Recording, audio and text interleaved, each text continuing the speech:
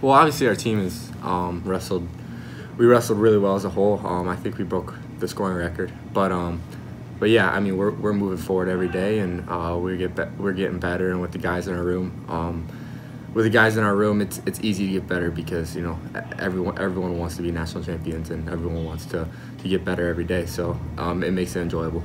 Yeah, I mean that's awesome. I mean one thing when you get here, it's you build a lot of relationships with the guys on the team, and and it's hard to leave. Um, like a guy like that that could go wrestle and start for a lot of other teams in the country, but he chooses not to. He chooses to train in the best room and, and be around the best people, and uh, and that's pretty cool that that he realizes that, and he's not the only one that realizes that either.